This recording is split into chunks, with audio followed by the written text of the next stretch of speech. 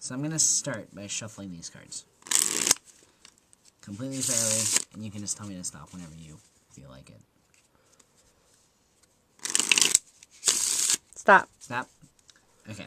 So now I'm going to pull off a small packet of cards, somewhere between like 10 and 20. It doesn't have to be much, just enough. I think I think that's a good number.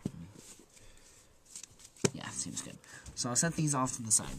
Now, if you do me a favor and just kind of wash those around a little bit.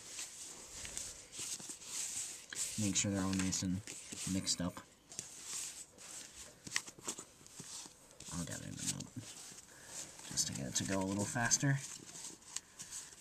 Alright, now if you would just grab a small pile off the top and put them somewhere where I can't get to them. Alright, now with these, just mix them around a little more. I'll gather them up when you're finished. And I will show you the bottom card while I look away. Let me know once you have it. Okay. Okay. So I'll put those back on top of the deck. And now I will shuffle those into the center. Just like that. And like that.